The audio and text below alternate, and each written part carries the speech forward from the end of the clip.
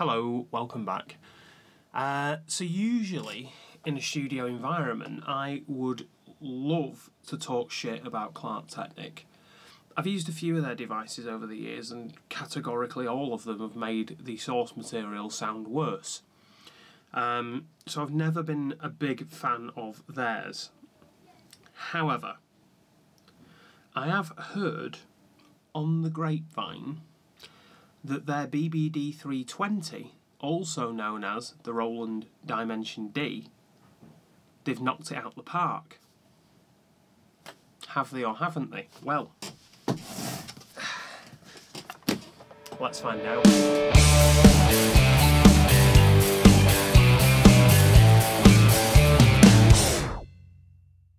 Alright, so let's have a look in Pro Tools.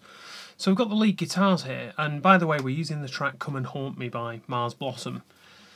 Um, let's have a look at these lead guitars. I've currently got a flanging effect on now. I know the Dimension D is more of a chorus, but maybe it can do a job, so let's try it out.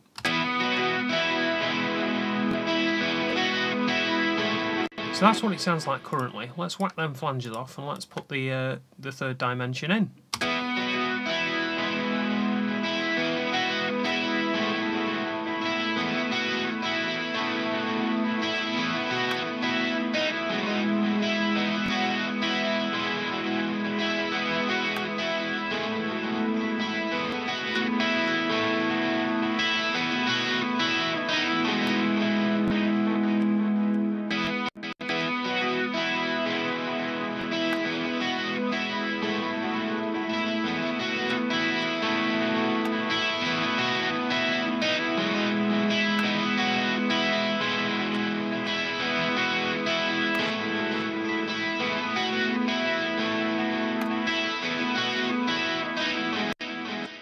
Right, so three sounds pretty nice. Let's see what it sounds like in the mix.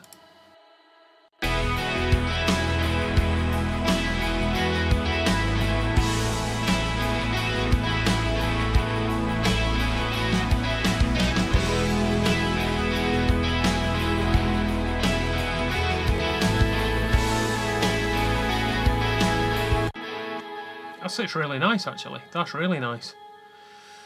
Alright, we've got an acoustic guitar part that comes up later in the song, so let's. Uh, I'm using the uh, the third dimension in uh, Pro Tools, the hardware insert, so you may see it referred to as finalizer. Ignore that. Uh, it is the Dimension D, or third dimension. Let's have a listen to this acoustic. So, on the acoustic, I'm using a plugin called Little Microshift. Now, as far as I'm aware, Little Microshift is actually a version of the Dimension D in a plugin, so we should get a fairly similar result. Let's have a listen.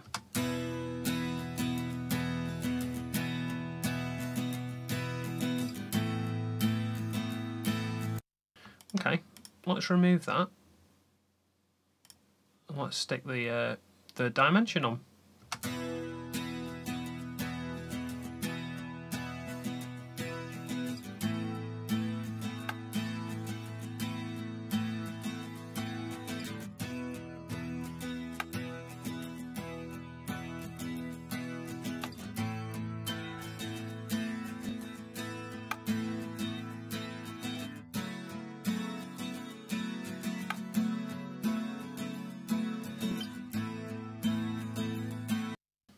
Now that sounds absolutely amazing.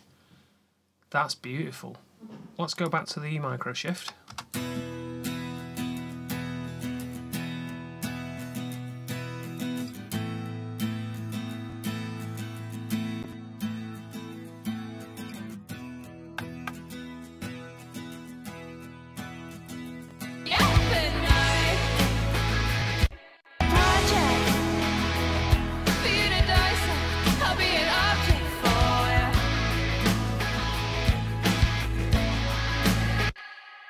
That is very, very impressive. Sits the guitar in the mix in a really, really natural sounding way. Alright, last test before I give you some thoughts on it. Let's bang it on the whole mix. Let's see what it sounds like.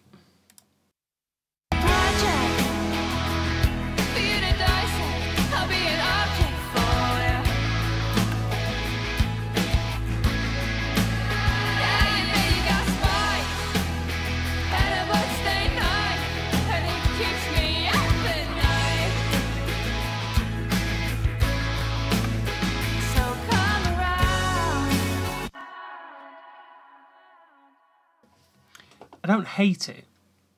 It reminds me of the intro to She See Jesus tongue twister. She sells sanctuary.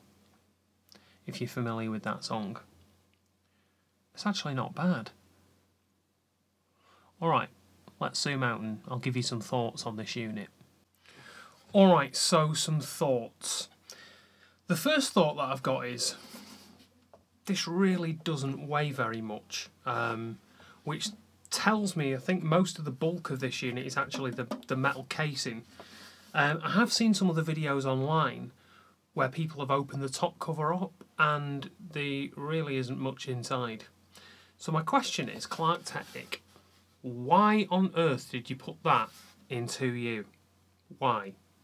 Now, I guess you may be going after the look of the original Dimension D, which was 2U, but that actually had stuff in it. This is basically a PCB with a few capacitors on it. There's really not a lot to it. And we live in an age where not a lot of people have the ability to have racks and racks and racks of equipment. Most people are working in smaller studios or apartments or bedrooms, and they don't have the amount of space we once had. You could have, you know, to be fair, they could have put this in a 500 series, or they could have put it in 1U. 2U? Really? It's a bit big. However, should you have the luxury of space, it does come indeed with XLRs or jack inputs on the back, and you've also got a toggle switch for mono or mono or stereo operation. Um, it's really easy to use an LED gauge. I mean, given the fact that it's actually a stereo output, could you not have stretched to two output LEDs? Really? Just one. Come on now. So, you know, aside from the Clark technicness of it, it does sound. I mean, it's easy enough. There's a remote port on the front if you want to remote control it. I mean, most people are probably not going to do that, but you know, four buttons. And then the thing that I do like about it is similar to the 1176. I don't know if you noticed on the video there, but you can actually press more than one button at a time. Um, which gives you some cool sounding effects. You can kind of stack the effects inside. Um, overall, my general thoughts are I really like this unit, though, to be fair, aside from my small complaints. It sounds phenomenal, and for the price you pay in the UK at the moment, I believe it's 179 new.